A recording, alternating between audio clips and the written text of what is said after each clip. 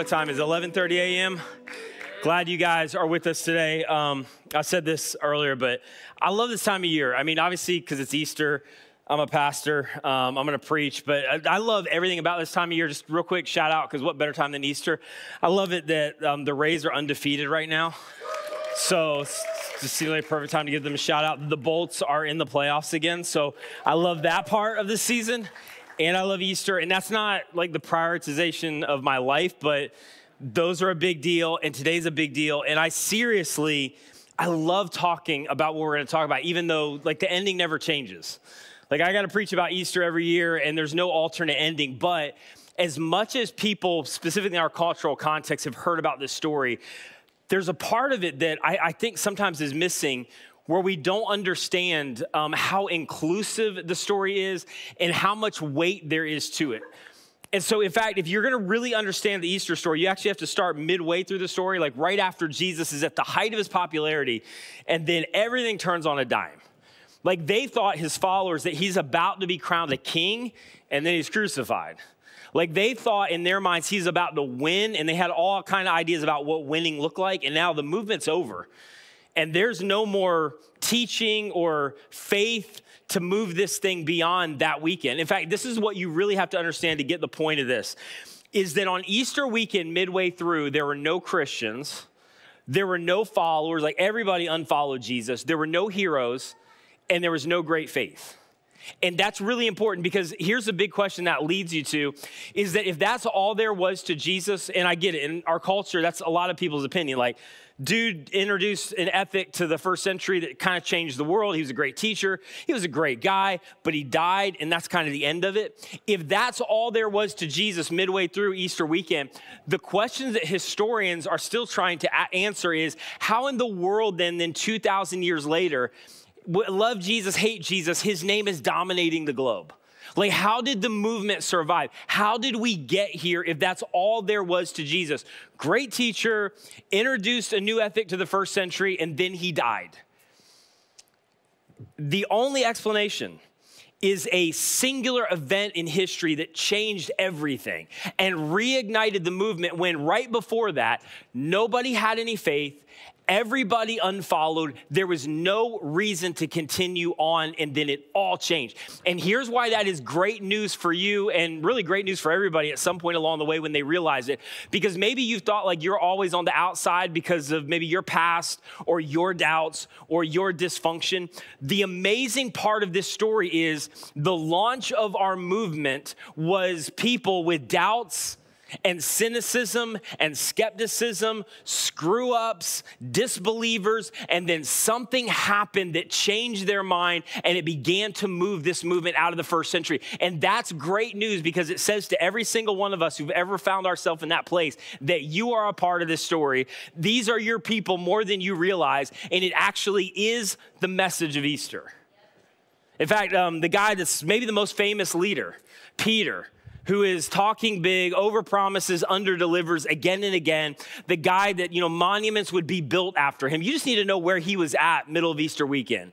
In fact, right before this, he was the guy that was most confident. In fact, Luke records that he told Jesus when Jesus was talking about what was going to happen, Peter turned to him and said, Lord, I'm ready to go with you to prison and to death. And then Jesus turns to Peter, he's like, nah, you'll lose faith too. Like you'll walk away too. Your doubt is going to get the best of you as well. And in fact, you're going to deny me three times when all of this goes down. But I'm just telling you, you're not going to maintain faith. And what we miss about Peter is that, like, this is the guy that was all in. If anybody wanted the God thing to be true, it was Peter. If anybody wanted this thing to stay alive, it was Peter. And yet, on Easter weekend, as Jesus is beginning to be led away, and Peter keeps eye contact with him, and he knows the inevitability of a crucifixion, that his leader is going to die, which means he's another wannabe Messiah. Peter and all the rest of his followers were struggling with all the same things that we struggle. Same things that kind of keep us in disconnection with God. The first thing that Peter was struggling with, it was a religious leader who had failed him. Because at this point, Jesus was not who Jesus claimed to be in their minds if he's about to die, because unlike other religions, Jesus was the message. Jesus said crazy things like, I want you to believe in me. Not believe in my teachings, believe in me. Jesus was the movement. He said other ridiculous things like this that are either true or he's a lunatic. He said, I'm the resurrection and I'm the life, which means Jesus was the message, he was the movement. No Jesus, no, you know, no reason to continue on. And maybe that's, you know, your story is in our context, a failed leader, somebody who stood on a stage like this and wasn't who they said they were. Spiritual trauma you know, being let down at some point, and, and it marked you in such a way that it's like, I just don't know if I can believe in the God thing. And then the second reason that Peter and all the rest were struggling was because it no longer made any sense. There was no longer anything to gain. And can we just be honest for a second? For us, just a second in church. Like sometimes it's not a theological issue that we struggle with. Our disconnection with God is it gets to a point where it costs us, and there's just really nothing to gain any longer in our own minds. And there they are, and Jesus is about to die. The movement is about to be over, and there was nothing to gain. In fact, if you would have gone up to his followers at that point to go, okay, well, once he dies, you should steal his body and make up a story and try to keep the movement alive. Well, okay, well, if we do that, what do we win? Uh, probably a nationwide manhunt. You'll be crucified for it. Like every other religion, study it. When people get it started, they usually have something to gain around the lines of sex, money, power. None of Jesus' followers had anything to gain. It just wasn't practical. And then the third thing, like some of us, their circumstances just didn't make sense. If Jesus is a king, if Jesus is a Messiah, it doesn't go down like this. Kings don't get crucified, Messiahs don't get killed. And again, like that's some of the things that we struggle with sometimes. If there's a God and He's good, how do I reconcile that with my unanswered prayers or my suffering? Or the betrayal or the divorce or the breakup or the fact that like I'm stuck in this place that I didn't thought I would be. I didn't thought I would be here at this point in my life and it just feels like if God is good and God's with me, it wouldn't go down that way. And that's exactly where every single follower and disciple of Jesus were at that weekend. Everybody had given up hope. Nobody had any faith. Everybody was willing to walk away. And so Peter gets to that moment that Jesus had predicted, and he stays within eye contact of Jesus, who's being led away to his own death. And he's by a fire pit, and he has three different people approach him to go, Hey, aren't you that guy that was with Jesus? He's like, No, aren't, are you sure? Aren't you the Galilean? No, no, no, I'm not the Then an elementary school age girl approaches him, and Peter is so afraid out of his mind that he starts dropping explicatives, and he's like, I don't know Jesus, I'm not with him. And then he realizes, and just as Jesus predicted, the rooster crows he makes eye contact. And it's hard to overestimate the drama. And Luke records it that the Lord turned and looked straight at Peter. And Peter realized, as much as I wanted to hold on, as much as I wanted to maintain faith, as, what, as much as I wanted it to be true, he went out and he wept bitterly because it's over. And he still had respect for Jesus like all the rest. And he still believed Jesus was a good guy, but he's not a Messiah. He's not a king. And I just, this is a really important point. This wasn't an act of rebellion on Peter's part of like, just forget God, I'm gonna do my own thing, or, you know, forget Jesus, I'm not following that any longer. He wanted to follow, he wanted to maintain faith, but there was no reason to continue on. And he couldn't just muster up faith or just muster up belief when the very object for his belief and faith was no longer going to be around. In fact, maybe well meaning um, Christians have said to you at some point along the way in your own journey, if you've ever questioned or doubted, hey, you just need to have more faith. You just need to, you just need to believe. Which I just, I'm gonna confirm what you've thought. That is the most ridiculous thing to tell anybody in the world. If you want to be intellectually honest, you can't, if you don't believe, you can't just decide to have belief. If you don't have faith, you can't just make up a reason to have faith. What are you gonna have faith in faith? In fact, here's what I would tell you that may blow up your Sunday school theology if you grew up in the church. You can't decide to just have more faith in God. You need a reason. In fact, that's the biblical definition of faith throughout the scriptures that may help some of you in this journey because you thought you had to kind of throw away your intellect to follow Jesus. Jesus never invited you just have faith in faith or just believe. Jesus came to give, it, give us an object for our faith, a reason for our faith, and anchor it in history so that you could have faith in something that was verifiable, something that was documented, a reason to believe. Following Jesus does not mean abandoning your intellect. So, let's just give John and Peter and all the rest a break. At this point, middle Easter weekend, there was no reason for them to believe.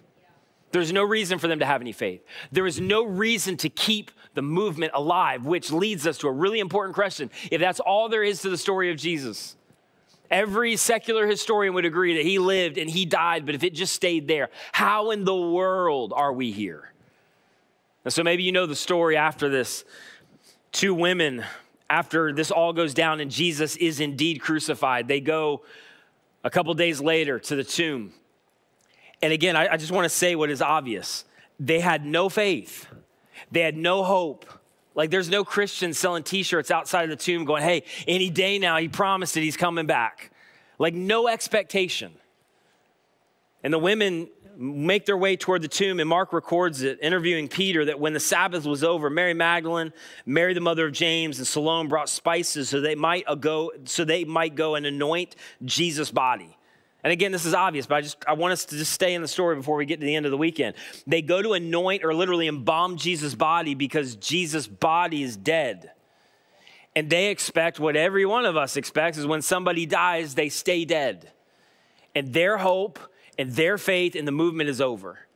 And then every year I read this, I can't help but come to this conclusion too. And this is not in a commentary, but little known fact earlier in the weekend, a couple guys had already been to the tomb. They had anointed Jesus' body and embalmed Jesus' body with spices. And so later in the weekend, the women are like, there's no way they did that right. And so they went back on Sunday to re embalm the body of Jesus, which is why they were there. And so, very early on the first day of the week, just after sunrise, they're on their way to the tomb and they ask each other, and they should have thought about this who rolled the stone of the, of the entrance to the tomb away? Which, this is hilarious to me. Every single follower of Jesus at this point is huddled up trying to figure out how they can get out of the city under the cover of night, terrified they just killed their leader. They're going to kill them. There's no reason to continue on. Jesus was the message and the movement. And so, literally, the religious leaders put a massive, several hundred pound stone, sealed it in front of the tomb because they were afraid the Jesus followers would somehow get enough courage to go steal the body and make up a story. Little do they know, they're all huddled up, they're all terrified. Literally, the religious leaders have more faith in Jesus followers than Jesus followers have in Jesus followers. For them, it's all over. And the women get there and they're trying to figure out what they do with the massive stone. But when they looked up, they saw that the stone, which was very large, had already been rolled away. And John's actually, he's interviewing Peter as he's writing this. And he's like, as they entered the tomb, and Peter's like, okay, or Mark, as he's writing, it's like, okay, Peter, let's just run through this one more time. Can you go, can you take the story from the top? And Peter's like, yeah, yeah. So what happened was the women got there, and then we came. Oh, Mark's like, let me stop you one more time. Go back one more time. Are you sure? Like Peter, are you absolutely sure that that you know you and John didn't get there maybe a hair before the women? Like, are you sure they were the first there? And Peter's like, no, no, no. They were the first there. We were actually all still terrified. We were huddled up. We were trying to figure out what to do and how to get out of the city. And I think Mark hesitates to write this because if you know first century culture, this actually gives validity to the story. If you want to make something up that people are going to believe in that culture, you would never put women as central figures in the story and as first to get to an empty tomb. They had no credibility. They couldn't be called as witnesses in court. Nobody would believe this. If you're making up a story, you can look at this for yourself. If this is terrible fiction, nobody would make this up. And I think Mark's like, okay, Peter, t- tell me one more time. And then Mark finally writes that these women were first to get to the empty tomb and see the stone rolled away. And the only reason that Mark would write that is because women were first to get to the empty tomb and to see that the stone had been rolled away, and they saw a young man dressed in a white robe sitting on the right side. And this is an understatement of the world, and they were alarmed. And then the angel says the maybe most unhelpful thing an angel has ever said in that moment do not be alarmed. And they're thinking, no, that's exactly what we're gonna be. Like we, we got here expecting to see the body of who we thought was going to be a savior, rabbi, king. It's all for naught, but we still have enough respect for Jesus that we're going to show up. And not only do we not see him, all the linen is folded up nice and neatly. He's not in there, and we're talking to a teenage angel. We're alarmed and the women are terrified. And again, this is the moment where you would think the music starts to swell and they start to understand what's happening and connect the dots and remember what Jesus said when the angel turns to them, eyeball to eyeball, and says, The reason he's not here, the reason that the tomb is empty, the hinge point of the movement He's risen. He's done exactly what he said. And the women at this point, you would think if you're writing the story, would go, Yeah, that, that's right. That's exactly what he said he was going to do. He told us over and over again. We weren't really getting it, but this is the moment where all the dots connect. An empty tomb, we're talking to an angel. Jesus rose from the dead. Nobody thinks that. The women are alarmed, they're astonished, they're overwhelmed, but nobody still has any faith and nobody's thinking about a resurrection. And so the angel says to them, in the midst of their still cluelessness and doubting, He's not here. And I love this, but go. Go tell all the followers and the disciples and everybody who's followed Jesus for several years, and they watched him give sight to the blind, they watched him raise the dead, they watched him tell the lame to get up and walk. Go tell all of them who are cowering and hiding and who have lost all faith. Oh, wait, wait, wait. And before you leave, this is so personal and such a big deal. Go, Go tell Peter. No, no, I want you to tell all of them that Jesus isn't here, that he's, but I want you to personally pull Peter aside and let Peter know that Jesus did exactly what Jesus said he would do. And that Peter did exactly what Jesus said he would do. And yet Jesus is coming for him anyway. And he's not coming to condemn him, he's coming to restore him.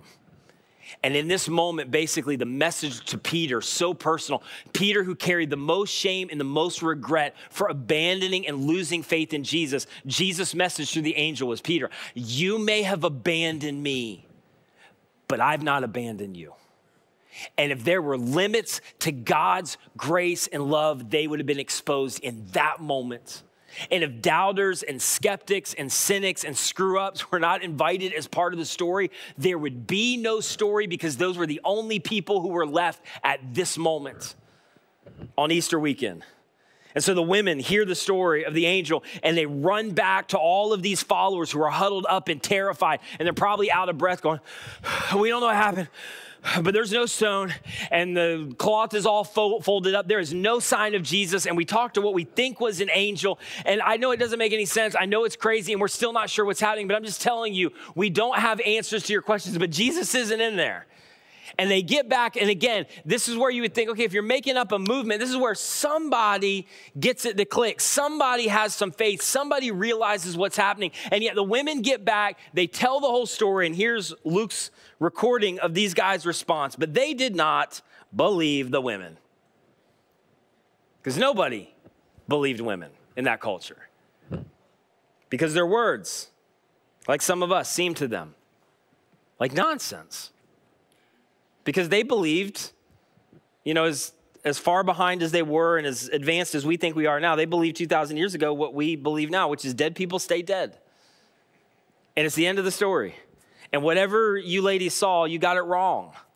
There's no way that Jesus is gone. And again, still nobody is thinking about a resurrection. I'm just telling you, you don't have to believe any of this and you can go your way and, and do whatever you want. But I, you just need to consider this one point. Without an empty tomb, there would be no reason for the movement to ever be reignited and ever last beyond that weekend.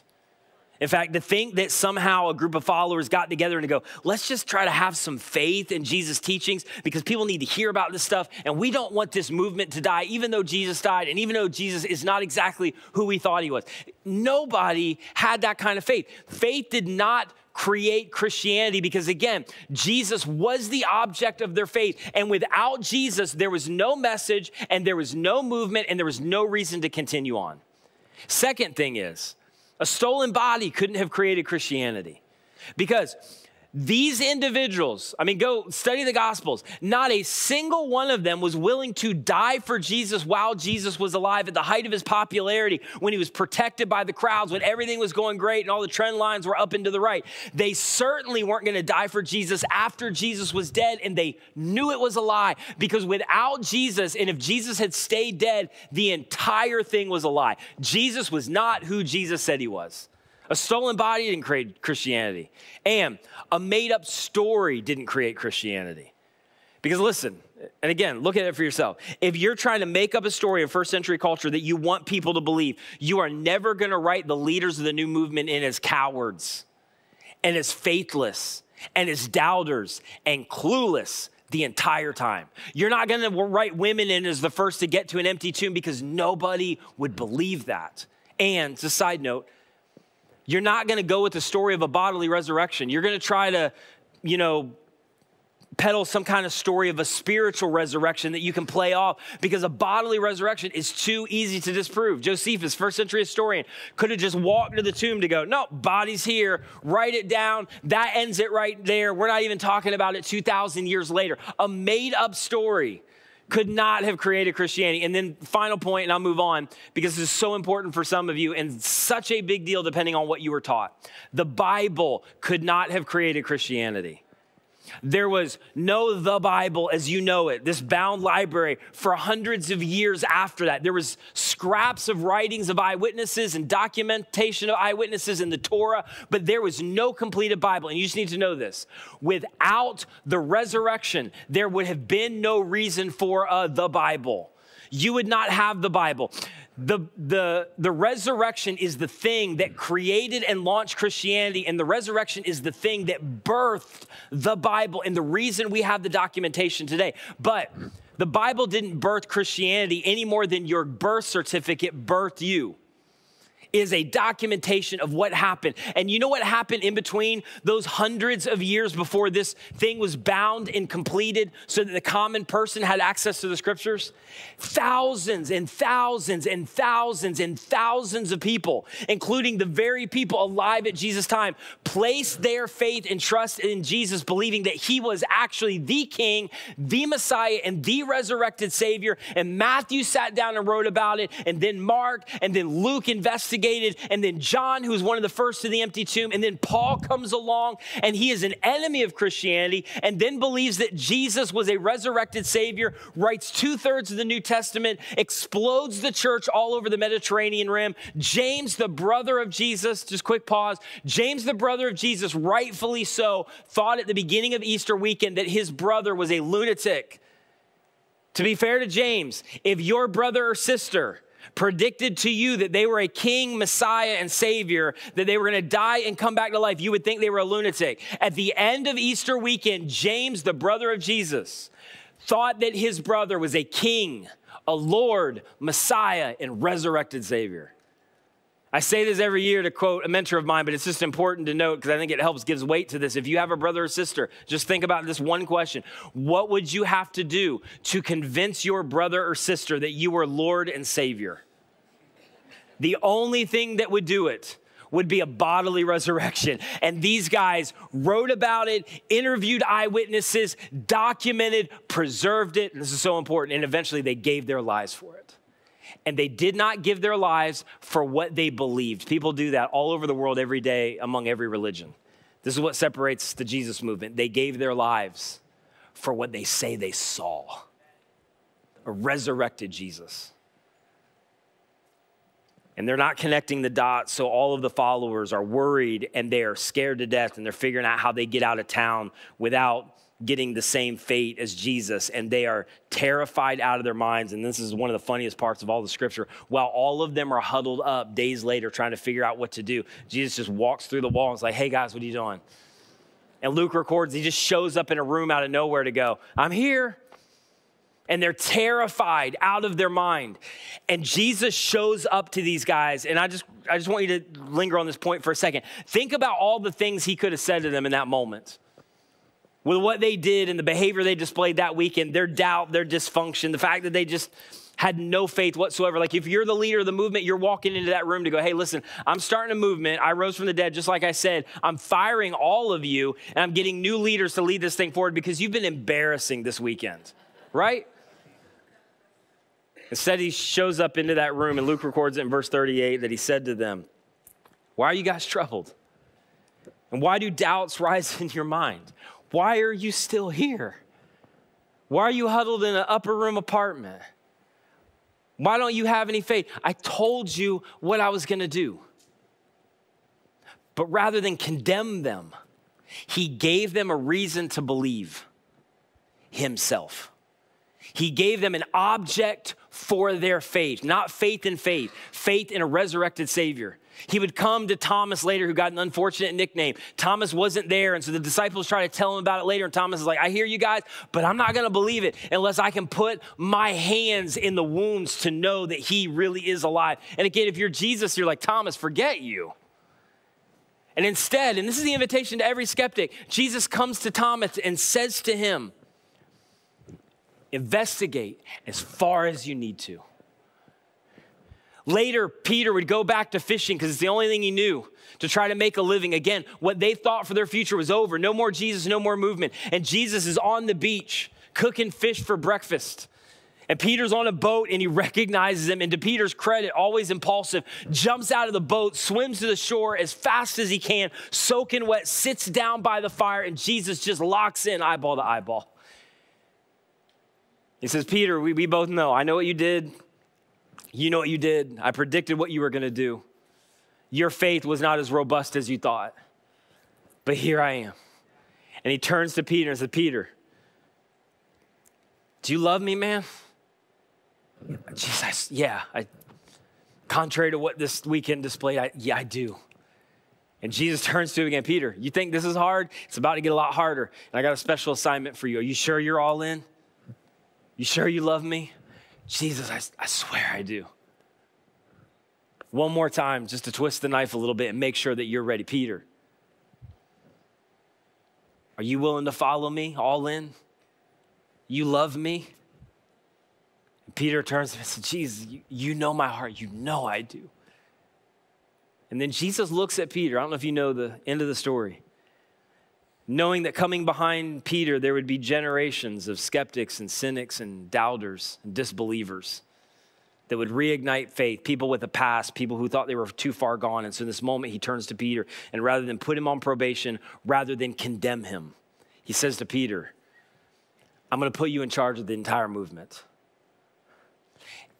And in that moment, when Jesus appeared to those disciples, the movement was ignited and they rolled into the streets of Jerusalem, guys that were cowards, and suddenly they're bold out of their mind and they're like, You guys crucified him. God raised him. We've seen him. You should repent. And suddenly the movement began to move, and cowards became bold proclaimers. And 2,000 years later, a third of the world connects Jesus to God, Jesus to King. His name, love Jesus, hate Jesus. Jesus' name is dominating the globe today. And that did not happen because of a stolen body, that did not happen because of a made up story. That did not happen because they mustered up faith and faith, and that did not happen because of the Bible. There's only one reason we are heralding his name in every generation, in every language, all over the globe, and that is because he rose from the dead. And in that moment, it gave every single individual a reason to believe, a reason to have faith, an object for why they should follow Jesus despite their dysfunction, despite their past, despite their questions in that moment, the movement was born, and 2,000 years later, here we are. And the only reason is a resurrected Savior. In fact, it was the answer to history's greatest mystery. How did it survive? How are we here? It turns out that Jesus was, in fact, a king,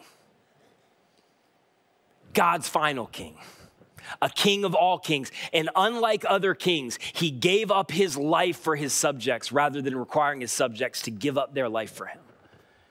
And when he walked out of a grave alive, his resurrection validated everything he said about his life and death. Because his resurrection answered another mystery as well. And I think this is something that, even if you don't believe in God, there's maybe been a time where you stared up at the ceiling and you wondered about this question if there is a God. And that's the very personal question of how do I know where I stand with God? The resurrection answered that. How do I know how God feels about me, about my failure, about my sin? Because Jesus is the only one who ever spoke with authority about how God views me, you, and the human race. And then he rose from the dead. And John, who's one of the first to get to the empty tomb, writes these really famous words that maybe you know, but they mean nothing without the context of the Easter story. They mean nothing without the resurrection. When John would write this after being with Jesus, God so loved the world And whoever believes in and trusts in him will not be lost to God, will not perish. And then the second part of the verse, it never gets any airplay, but it's so important. Despite what you've experienced, despite how maybe you've been treated by Christians in the church, despite your own past, John would write God did not come into the world to condemn the world, but to save the world through Jesus. That sin, my dysfunction, the sin of the world, it's a big deal. It cost Jesus his life, but his grace and his love is bigger. And the crucifixion made no sense until the resurrection. And then it made all the sense in the world. It's why millions of people are gathering in Jesus' name. And I just want to talk to you on radio, podcast, or if you're in the room, not knowing your story, but for some of you, the thing that you need to hear is this. If you ever felt like that you were on the outside forever because of your sin, your dysfunction, your doubt. I just want you to know this is the invitation, and it has been since Easter weekend. Jesus' response to you is the same response to Thomas and Peter and all the rest. You may have abandoned me, but I will not abandon you. And in fact, because I'm a God of resurrection, the hope for every single one of us this morning is that a resurrected Savior can bring purpose and life out of any kind of destruction, out of the ashes of any kind of death. And in fact, the very thing that you may be staring at as abandonment, just like the disciples on Easter weekend, maybe the epicenter of God's greatest activity in your life because we serve a resurrected Savior the thing that you're looking at that looks like disappointment, like them staring into an empty tomb and it looked like disappointment and they had no idea that it was actually disguised destiny, that their worst day was actually the greatest day in heaven, having no idea what God was up to. And in fact, the very thing for you that looks like death, the death of a dream, the death of your future, the death of a relationship, the death of what you thought for your life, because we serve a God who got up out of the grave alive may be the very thing that God is using to bring about life. Because the resurrection solved the mystery of what does God feel about the human race. And it turns out that Jesus secret ambition was to die so that you could live. And to prove once and for all that he is a king worth following and one day, not because we just have faith or because we read it in the Bible, but because of a resurrected Savior, the King will set up a kingdom that will rule and reign forever. And in that moment, everything that disconnects us to God will bow down to Him. We can believe that one day, every tear will be wiped away, that heaven is real, that forgiveness and grace is possible, that one day justice will take place, not because we have faith, but because Jesus promised it and then he walked out of a grave alive to prove once and for all that he is a king like no other.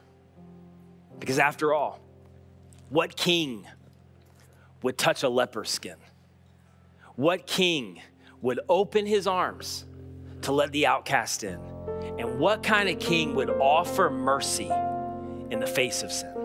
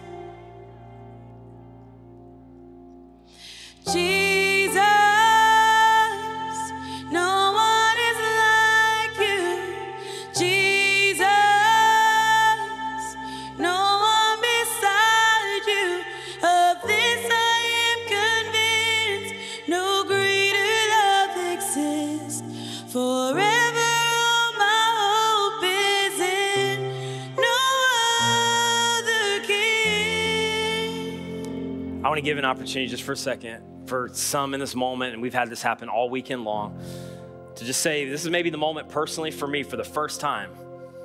I, I believe it's true. And the scripture talks about the good news of Jesus. That's what this weekend is about. It's such good news, but it's so simple, we stumble over it. And it's simple, but it's not without cost because it cost Jesus everything. But the good news is that Jesus came and he lived a perfect life that I can't live, you're not going to be able to live. And then he died on the cross for our sin, past, present, and future. And that didn't make sense to anybody until three days later, he walked out of a grave alive. And that is the hinge point for all of Christianity. It's why we follow Jesus. It gave us a reason to believe, an object for our faith, a resurrection anchored to history. And the scripture says, in fact, Jesus said it one day, and John recorded it during his ministry, where he said, I'm the resurrection and the life.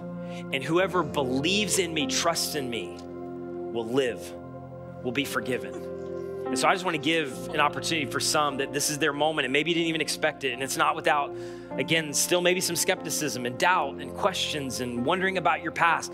But the resurrection, has a way of overriding all of those things. And not that they're not important, but there's just a greater reality that I can bring all of those things with me and believe anyway. Because if a guy was able to predict his own death and resurrection and pull it off, then I've got to follow that guy. And the scripture says when you place your faith and trust in Christ rather than trying to place your faith and trust in trying to earn your way to God or make sense of your life on your own, that when you make that transfer of trust, you become a son and a daughter of God. And nothing is ever going to be able to separate you from that love. And in fact, I say this all the time, but even if you stumble to the finish line of your life and you never get it together behavior wise, you will stand one day face to face with your resurrected Savior, forgiven, whole, and complete, because your salvation is not based on your performance, it's based on His. He already did it for you. It's why it's good news. And so, all over the house, would you just bow your heads and close your eyes? And I understand if you're not religious, this is new for you, that may be weird, but just out of respect for people in this room where this is a moment for them. And I'm gonna invite you, if you're on via radio or podcast, to join in this moment if this is you. But I just wanna lead you in this prayer, and this prayer doesn't save you. It's your own declaration of your faith and your trust. But this, would the, this is the moment where you would say, maybe against all odds, I believe. And so, in your own heart and mind, you can pray this after me Jesus, I believe that you are God. I believe that you lived the perfect life that I couldn't. And then I believe that you died on the cross for my sin. And then three days later, you gave me a reason to believe, to have faith. You rose from the dead. And in this moment, I'm not trusting me, I'm trusting you to save me and to forgive me. The scripture says, whoever calls on the name of the Lord in that way is saved, becomes a son, a daughter of the King, the God of the universe. And so, with nobody looking around, if this is that moment for you, like so many others this weekend, would you just lift up your hand as a way to just signify an anchor in your own heart? This is the moment that I personally placed my faith and my trust in Jesus to save me, to be my King and my Savior. Just lift up your hand and go, This is the moment for me to place my faith and my trust in Him. Yeah, yeah. Just leave it up for just a minute. Yeah, yeah, yeah, yeah.